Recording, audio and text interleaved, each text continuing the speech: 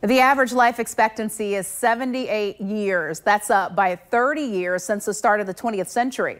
With advances in healthcare and treatment, important factors, your everyday habits are also playing a big role in how long you live.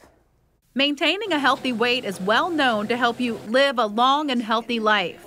But according to the National Institute of Aging, women who are too round in the middle are 20% more likely to die sooner, even if their body mass index is normal.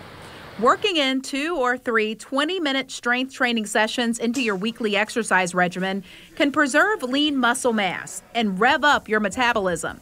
A healthy diet can also reduce inflammation and reduce fats stored in your belly something that's well balanced where there are plenty of uh, natural foods, plenty of uh, vegetables. In particular, purple vegetables and fruits have been found to reduce cancer risk and memory problems. An anthocyanin is an antioxidant that gives the food the purple color. That purple color is what's so healthy. Also, a Netherlands study found that adding 10 grams of fiber can reduce your risk of dying from heart disease by 17%. And doing your own house chores for an hour can burn 285 calories, lowering your risk of death by 30%.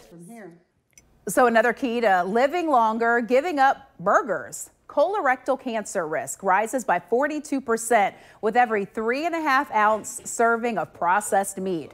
That also means bacon hot dogs, and any deli meats, which I think is really hard, guys, because kids pack them, you know, we pack them for the kids at lunch.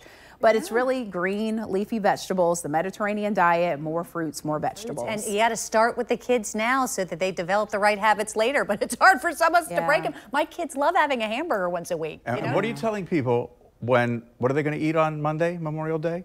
A lot of people? I, yeah. Burgers, burgers hot dogs, yeah. Anything in moderation. Moderation, that's the key.